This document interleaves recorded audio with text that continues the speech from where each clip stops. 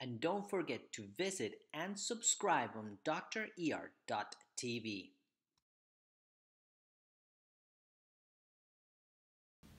All right, so it's already recording. Okay. Okay. So go ahead and tell us how it started. Tell us the story about four or five months ago when you first had this. All right. About four or five months ago, I had a big abscess come up. Um, I had it. Um, I guess lanced. Um, it went away. Four or five months later, it comes back, and of course, it came back with vengeance and came back a little bigger. So we're here at Cartersville now and about to get it taken care of again. All right. Now you said this here has been growing over the last two weeks now. Yeah, we're about the last two weeks it's been growing But it got much worse. overnight. Yeah. So you were trying to let it go, see if it would Yeah, I was trying to make it till Monday or Tuesday to get a actual doctor's appointment with a dermatologist. Actually, more than a dermatologist, you probably need a general surgeon or ENT sometimes. What you will need is something called uh, just a cleanup surgery. Just go in, remove all the scar tissue, take it all out, take it back together. Because until you have that done, anything we do like today is going to be temporary. It, it can come back again. Oh yeah. Um, because we don't really remove the the sac. I mean, it can be removed, but that's not usually done in the emergency department. Um, that's something done later on when there's no active infection, stuff like that. Oh okay, okay. And you mentioned something like that when we talked before, like, oh, I don't think they did it right because it came back. It's not that they did anything wrong. This is six months later. So, like I said, when there's scar tissue, creates a little pocket, and that can lead to infection getting back in there. Doesn't mean that nothing wrong was done. It's just kind of happened. Okay. So we got the wound culture, the blade, all the stuff, the lidocaine, the iodine. Just making sure I have everything I need. Maybe some extra gauzes here. I don't expect like large and large amounts of fluid, but you said that you do expect that. Is that right? Yeah, I do expect quite a bit to come out, not you know, excessive amount. But Now, the, the difficulty or, or what makes this case interesting is that the location. You know, let's tilt your head over. The sternocleidomastoid muscle comes from here, the, the, the clavicle, across the neck into the mastoid. So it is a little bit posterior to it. His carotid is actually right here. So obviously you don't want to come this side of the house. I'm going to get as far away from there as possible over here. okay. And that's what makes it interesting. You don't want to start cutting and all of a sudden blood squirts everywhere and we're in trouble.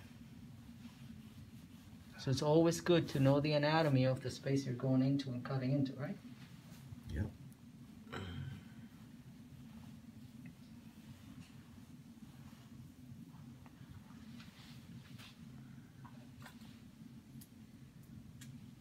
We'll give the 30 seconds to kind of dry up a little bit. Then we'll inject some. Curious, would it help if I stayed shaved? Well, shaving can work against you as well. Shaving, what it does then when the hairs try to grow, it, it can get ingrown and create problems with that too. Oh, I actually think that letting your hair grow is actually healthier for for what you're having because it's less like the hair itself will get ingrown and create trouble with it. So I don't think that's an issue. okay. Actually, when I shave every other day, then I'll start getting pimply and, and stuff like that because all the hairs are trying to to grow and they get stuck. Okay. I have to shave every third day or something because my face is very sensitive. So shaving a lot will cause those hairs to start getting ingrown and cause trouble. So I think you did the right thing in growing a beard. Alrighty. All right, Nice so here's the painful part. Yep. And uh, like I always say, it's a pinch and then a burn. Let me go distal here. Pinch.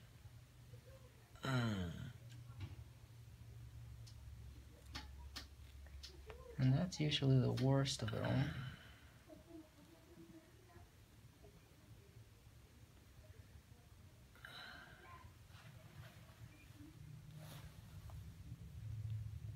And you can see the medicine getting Mhm. infiltrated around here.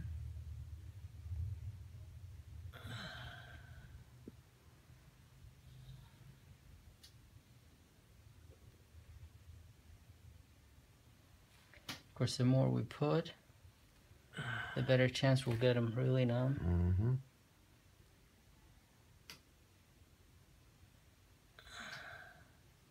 You can see how far that medicine's going yep, up and down. Big, yeah. So even though we're only injecting one spot, and look, this part oh, yeah. saw that? Mm-hmm. Started leaking out of spot far away. Another pinch, we're gonna aim the other way. It's starting to leak over here too. Mm-hmm. So there's fluid there that wants to find its way out.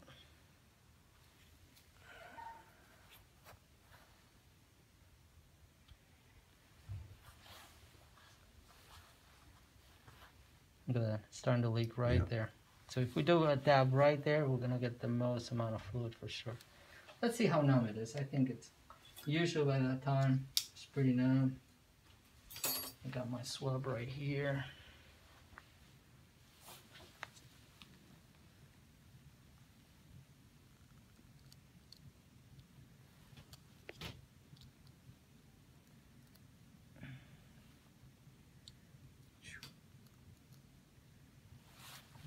Coming out of it. Taking the culture.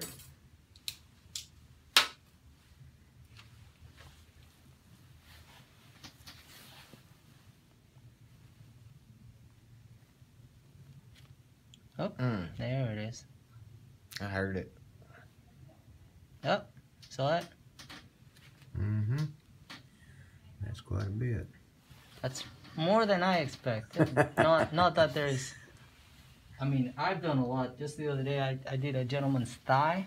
Mm-hmm. I pulled out how much was it? A whole liter. Oh, a whole bunch of this from his thigh. I knew there was gonna be a lot, so I had the suction ready. Oh, more stuff. Yeah, Yep. Man. It looks a lot. Yep, there's good. more. Yep. So by milking it, we're managing to get some more Mhm. stuff out. It already feels a lot better. It should. It looks like a lot better. I'm gonna try to get this in there and clean up. Good lord. That thing made a big, Oh. that big a pocket. All the way up here, Mm-hmm. feel it? Down here. Oh yeah. see what else we got. Mostly blood now. Yeah, a Still a little bit of pus. Mhm. Now what we're gonna do, I, lo- I love doing this part. Irrigate. no, this part I'm gonna do next. I actually push the fluid back in. Yep. Kind of wash it in the inside, Mm. right? It stays in there and then it comes out. Mm-hmm. And then it forces whatever little bit was left to come out. Mm-hmm. Yeah, Basically- looks a lot better coating. We're basically irrigating the wound. Mm-hmm.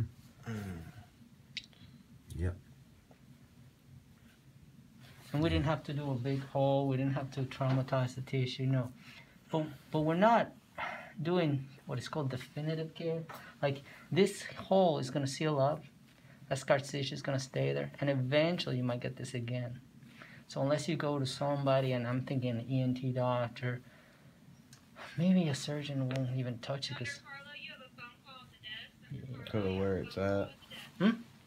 Because of where it's Because at. of where it's at, yeah. Oh man, it looks a lot better coating.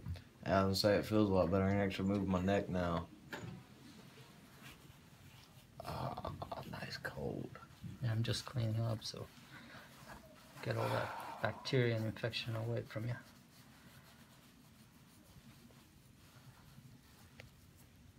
Yeah, so the irrigation actually Paulding County didn't do that. Not a They just of doctors put- do. Um, honestly, something I've learned over time because it just makes good sense to me to do that, but it's not a standard thing that doctors irrigate the abscess. I like it because it makes sense. I mean, it's full of stuff. Yeah, and you're trying water, to kind of clean it out. out. Yeah, So- they they cut it open, squeezed it. I was like, all right, you're good to go. Now you mentioned you had another one. Yeah, right. Yeah, we're just gonna dab that one. Dabbing means just kind of a tiny little pinch. Dr. Carlo, Yeah. I'm so sorry. IR's on the phone. Uh, if you want to bring the phone over, It's right here. Yeah. what's that? I, I I'll don't take know. a picture of it. Yeah, the told him he Maybe spoke to handy, someone, and they said that he needs to have I'm just a student. in. Yeah, that's, that's fine. You gotta learn somewhere or another. You gotta start. So that's gonna hurt just a little pinch. It shouldn't hurt a lot. It's just to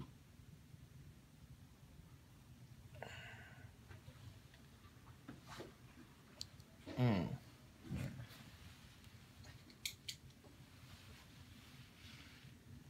Mm-hmm.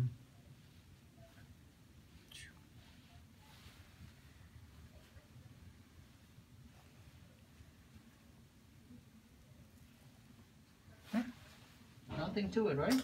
Nope. Yeah, I used to do that myself at home with a sewing needle. Ah, you know, and I thought about it, and I was like, ah, I might as well. Well, might not you were it. coming here for this. We might as well let us do it. But Yeah. uh, I never recommend you do it yourself. But you're right. It is simple to do. It can be done. If you ever do, it like for the people who are watching, a small pimple or a cyst, just take a little needle, sterilize it with either fire or alcohol. And if it's very small, you just kind of dab the surface of the skin, not going deep, and then press. And if you can get stuff out, you're probably safe enough. But it has to be sterile. You clean the skin, mm-hmm. you sterilize the needle, just kind of dab and try to get out. And if you get stuff out, great. If you get any kind of redness around the day, day after, then you're starting to get complications, infection. Gotta come and get evaluated. So Yep, I'm not encouraging it. I'm just saying it can be done. Oh, no, that's what I did. I took, I took a sewing needle, lit it on fire, and then Good for some. Well, anything you want to say? Um, appreciate everything you've done. Um, he's actually done really good. It makes it feel a lot better that I can actually move my neck around. Awesome. Well, thank you for letting us record it and share it with the rest of you too. Oh yeah. and thank you for